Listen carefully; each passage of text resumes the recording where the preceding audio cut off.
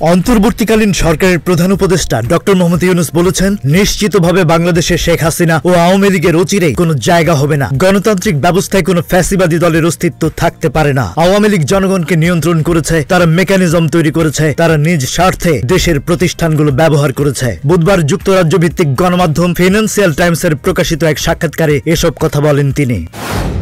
অন্তর্বর্তী সরকারকে আবেগের বশবর্তী হয়ে কিছু না করার আহ্বান জানিয়েছেন বিএনপি মহাসচিব মির্জা ফখরুল ইসলাম আলমগীর। বুধবার ঢাকা রিপোর্টার্স ইউনিটিতে এক আলোচনা সভায় একথা বলেন তিনি। মির্জা ফখরুল বলেছেন, এখন খুব জটিল সময় যাচ্ছে, দেশ নিয়ে চক্রান্ত শেষ হয়নি। পরিবর্তন সংস্কার সঠিকভাবে না হলে রাষ্ট্রকে টিকিয়ে রাখা যাবে না। তিনি বলেন, সকল সংস্কারের আগে নির্বাচন পদ্ধতি সংস্কার করা প্রয়োজন।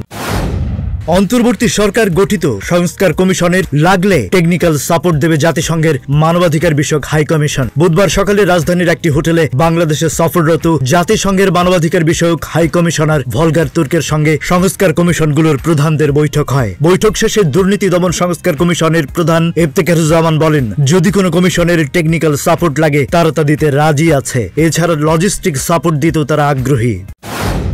দু হাজার পঁচিশ সালের জন্য পবিত্র হজের তিনটি প্যাকেজ ঘোষণা করেছে সরকার। প্রথম প্যাকেজটির জন্য খরচ ধরা হয়েছে চার লাখ আটাত্তর হাজার দুশো বিয়াল্লিশ টাকা এবং অন্যটির খরচ পাঁচ লাখ পঁচাত্তর হাজার ছয়শো আশি টাকা। এছাড়া বেসরকারি মাধ্যমে হজের প্যাকেজ নির্ধারণ করা হয়েছে চার লাখ তিরাশি হাজার একশো ছাপ্পান্ন টাকা। বুধবার এক সংবাদ সম্মেলনে এই দুটি প্যাকেজ ঘোষণা করেন ধর্ম উপদেষ্টা আফম খালিদ হোসেন। এর আগে হজ ব্যবস্থাপনা সংক্রান্ত নির্বাহী কমিটির বৈঠকে আগামী বছরের হজ প্যাকেজ অনুমোদন দেওয়া হয়েছে।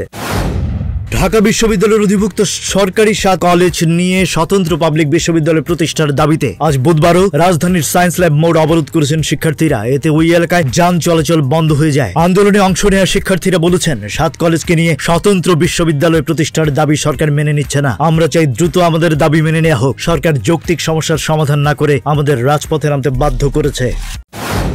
মুক্তিযুদ্ধের শহীদের সংখ্যা নিয়ে মন্তব্যকে কেন্দ্র করে বিএনপি চেয়ারপারসন খালেদা জিয়ার বিরুদ্ধে দায়ের করা রাষ্ট্রদ্রোহ মামলা বাতিল করেছেন হাইকোর্ট। পাশাপাশি রাজধানীর দারুসালাম ও যাত্রাবাড়ি সহ বিভিন্ন থানায় নাশকতার অভিযোগে দায়ের করা আরও দশটি মামলা বাতিল করেছেন হাইকোর্ট। আজ বুধবার বিচারপতি এ কে এম আসাদুজ্জামান ও বিচারপতি সৈয়দ এনায়েদ হোসেনের হাইকোর্ট বেঞ্চ এই রায় দেন। যুক্তরাজ্যের এবারের প্রেসিডেন্ট নির্বাচনে আগাম ভোট দিয়েছেন দেশটির প্রেসিডেন্ট জো বাইডেন। স্থানীয় সময় সোমবার ডেলওয়ারের উইলমিংটন থেকে হোয়াইট হাউসে ফেরার আগে পাশের একটি কেন্দ্রে গিয়ে আগাম ভোট দেন বাইডেন। এ সময় কমলা হ্যারিসের জয়ের ব্যাপারে আত্মবিশ্বাসী প্রেসিডেন্ট বাইডেন বলেন, চলুন, ভোট দিতে যাই।